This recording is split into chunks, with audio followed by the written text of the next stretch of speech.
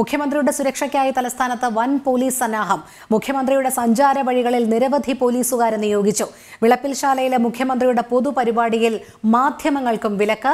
Party പരിപാടി ആയതിനാലാണ് പ്രവേശനം നൽകാത്തതെന്ന് ഇ എം എസ് അക്കാദമി അധികൃതരുടെ വിശദീകരണം ഉണ്ടായിരുന്നു വിവരങ്ങളുമായി ഷിജിത്ത് ശ്രീധർ ചേരുകയാണ്. ഷിജിത്ത് എന്താണ് ഇത് സംബന്ധിച്ച വിശദാംശങ്ങൾ?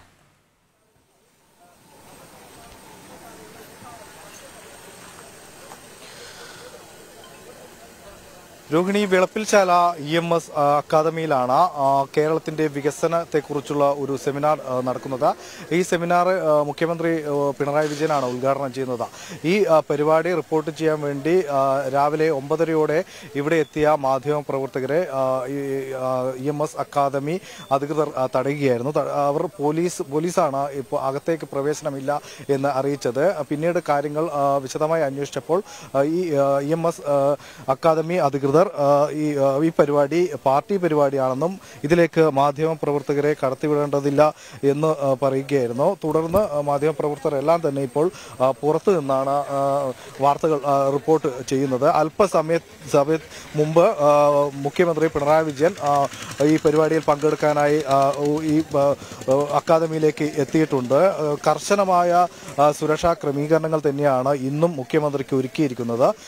ഈ ഈ വെളുപ്പിൽ വെളപ്പിൽശാലയിലേക്ക് ക്ലിഫ് ഹൗസിൽ നിന്നും വെളുപ്പി വെളുപ്പിൽശാലയിലേക്ക് എത്തുന്ന വഴികളെല്ലാം തന്നെ ചെറിയ പോക്കറ്റ് റോഡുകൾ പോലും പോലീസ് ബാരിക്കേഡുകൾ വെച്ച് തടഞ്ഞിട്ടുണ്ട്. കർശനമായ ഓരോ മുക്കിലും മൂലയിലും പോലീസ് ഉദ്യോഗസ്ഥരെ നിയോഗിച്ചിട്ടുണ്ട്.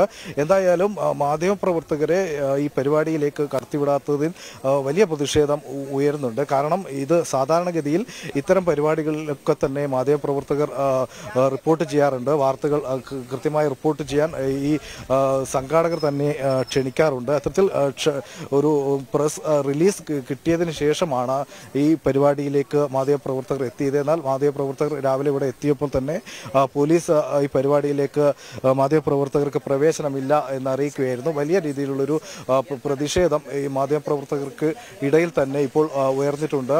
പ്രത്യേകിച്ച് മുഖ്യമന്ത്രിയുടെ സുരക്ഷ കണക്കിലെടുത്താണ് ഇത്തരത്തിൽ ഒരു നടപടി എന്നാണ് നമുക്ക് ലഭിക്കുന്ന സൂചനകൾ. പക്ഷേ ഈ ഇത്തരം പരിപാടികളിൽ നിന്ന് മാധ്യമപ്രവർത്തകരെ വിലക്കുന്നതിലൂടെ എന്ത് എന്ത് സുരക്ഷയാണ് അല്ലെങ്കിൽ അക്കാര്യത്തിൽ എന്ത് വ്യക്തതയാണ് സർക്കാരിന്റെ ഭാഗത്ത് നിന്ന് ഉണ്ടാവുക എന്ന് വരും മണിക്കൂറിൽ നമുക്ക് മനസ്സിലാക്കേണ്ടിയിരിക്കുന്നു.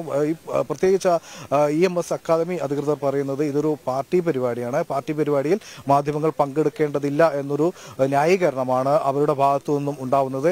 പക്ഷേ നമുക്കറിയാം ഇത്തരത്തിൽ കേരള സംസ്ഥാനത്തിന്റെ വികസനവുമായി ബന്ധപ്പെട്ട് നിരവധി സി ബന്ധപ്പെട്ട നിരവധി സംഘടനകൾ ഇതുപോലെ വികസന സെമിനാറുകളും ആ, ശില്പശാലകളും ഒക്കെ സംഘടിപ്പിക്കാറുണ്ട്. ഈ ശില്പശാലകളൊക്കെ തന്നെ മുഖ്യമന്ത്രി ഉദ്ഘാടനം ചെയ്യാറുണ്ട്. ഈ പരിപാടികളൊക്കെ തന്നെ മുമ്പ് മാധ്യമങ്ങൾ റിപ്പോർട്ട് ചെയ്തിട്ടുണ്ട്. പക്ഷേ ഇന്ന് വെളുപ്പൽശാലയിൽ നടക്കുന്ന ഈ പരിപാടിയിലേക്ക് മാധ്യമങ്ങളെ വിലക്കിയിരിക്കുകയാണ്. രോഹിണി. ഷിജിത്ത് അതോടൊപ്പം വലിയ രീതിയിലുള്ള സുരക്ഷാ ക്രമീകരണങ്ങളും ഉണ്ട്. അവിടെ സഞ്ചാര വഴികളിലൊക്കെ തന്നെ ഒരു പോലീസ് സന്നാഹം തന്നെയാണോ ദൃശ്യമാകാൻ കഴിയുന്നത്?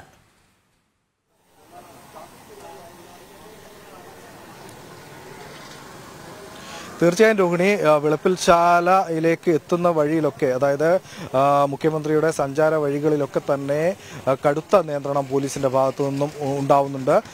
നമ്മൾ ഈ ഈ- വഴിയിലൂടെ നമ്മൾ യാത്ര ചെയ്തപ്പോൾ കണ്ടതാണ് ഇട റോഡുകൾ പോലും ബാരിക്കേഡുകൾ കെട്ടി അടച്ചിട്ടുണ്ട്. മുഖ്യമന്ത്രി പാസ് ചെയ്തതിന് ശേഷമാണ് ഈ വഴികളിലൊക്കെ തന്നെ ആളുകളെ ആളുകൾക്ക് സഞ്ചാര സഞ്ചരിക്കാനുള്ള ഒരു ഒരു പെർമിഷൻ അല്ലെങ്കിൽ അനുവാദം നൽകിയിട്ടുള്ള കടുത്ത ആ, നിയന്ത്രണങ്ങൾ തന്നെ ഇപ്പോഴും തുടരുന്നു എന്ന് തന്നെയാണ് നമുക്ക് മനസ്സിലാക്കാൻ സാധിക്കുന്നത്. ഈ ഒരു സുരക്ഷ കഴിഞ്ഞ ദിവസങ്ങളിലൊക്കെ തന്നെ കണ്ട സുരക്ഷ ഇന്നും മുഖ്യമന്ത്രിയുടെ കാര്യത്തിൽ തുടരുന്നു എന്ന് തന്നെയാണ് നമുക്ക് മനസ്സിലാക്കാൻ സാധിക്കുന്നത്. ഇതിൽ പ്രത്യേകിച്ച് ഈ ഈ സമയത്ത് രാവിലെ പത്ത് മണി എന്ന് പറയുന്നത് നമുക്കറിയാം പലരും ഓഫീസുകളിലേക്കും അതേപോലെ സ്കൂളുകളിലേക്കും ജോലി സ്ഥലങ്ങളിലേക്കും ആശുപത്രികളിലൊക്കെ തന്നെ പോവാൻ ഇറങ്ങി വാഹനങ്ങളിൽ സഞ്ചരിക്കുമ്പോഴാണ് ഇത്തരത്തിൽ ഇട റോഡുകൾ പോലും അടച്ചിടുന്ന ഒരു സാഹചര്യം ആ, ഇത് ജനങ്ങൾക്ക് വളരെയേറെ ബുദ്ധിമുട്ടുണ്ടാക്കുന്ന ഒരു കാര്യം തന്നെയാണ്. നമ്മൾ വരുന്ന വഴിയിലൊക്കെ അങ്ങനെ നിരവധി പേർ ഈ ഒരു ബാരിക്കേഡ് തീർത്തതിന് പിന്നിൽ ഇത് തുറന്നു കൊടുക്കാൻ വേണ്ടി കാത്തു നിൽക്കുന്ന ഒരു കാഴ്ച കാണുകയുണ്ടായി. എന്തായാലും മുഖ്യമന്ത്രിയുടെ ഒരു നിലവിലുള്ള സുരക്ഷ അത് അതിന്റെ അതിൽ കൂടുതൽ കൂടുതലായി പോലീസിനെ വിന്യസിച്ചുകൊണ്ട് തുടരുന്നു എന്ന് തന്നെയാണ് മനസ്സിലാക്കാൻ സാധിക്കുന്നത്. രോഹിണി ശരി ഷിജിത്ത്. വിളപ്പിൽശാലയിലെ മുഖ്യമന്ത്രിയുടെ പൊതുപരിപാടിയിൽ മാധ്യമങ്ങൾക്കും വിലക്ക് ഏർപ്പെടുത്തിയിരിക്കുകയാണ്. പാർട്ടി പരിപാടി ആയതിനാലാണ് പ്രവേശനം നൽകാത്തതെന്ന് ഇ എം എസ് അക്കാദമി അധികൃതരുടെ വിശദീകരണവും ഉണ്ട്. പക്ഷേ മുഖ്യമന്ത്രി വരുന്ന സഞ്ചാര വഴികളിലൊക്കെ തന്നെ കനത്ത പോലീസ് സന്നാഹവും നിലയുറപ്പിച്ചിട്ടുണ്ട്. ഷിജിത് ശ്രീധറാണ് വിവരങ്ങൾ നൽകിയത്.